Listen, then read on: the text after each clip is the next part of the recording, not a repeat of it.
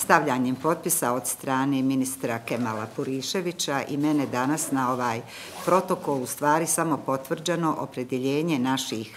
vlada, odnosno vijeća ministara Bosne i Hercegovine i vlade Crne Gore da istraju u saradnji na traženju nestalih osoba između naše dvije države, a pored toga da iskažemo stvarnu jednu veliku želju da ublažimo posljedice ratnih sukoba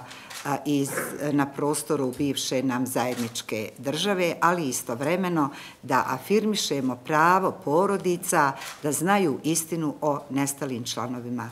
svojih,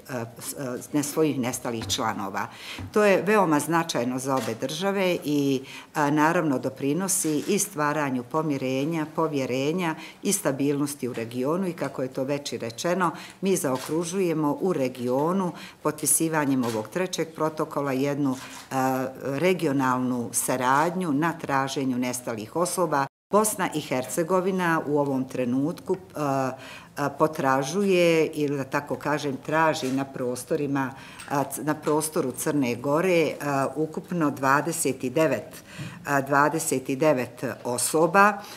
od toga je verificirano do tada, odnosno e, identificirano 12 osoba, a za sudbinom njih još 17 se e, traga. Mi očekujemo jednu punu saradnju, jedan puni doprinos na traženju ovih preostalih osoba, dok Crna Gora, naravno evo u Bosni i Hercegovini, također potražuje 10 nestalih osoba.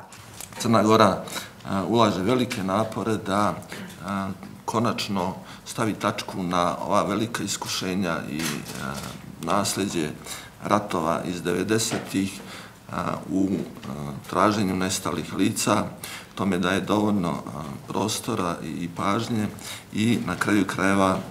jednim ovakvim ceremonalnim činom i potpisivanjem ovoga protokola daje do znanja da nam je to visoko na agendi vladinih politika. Crna Gora e, potražuje 52 osobe u državama regiona, u Bosni 10 osoba.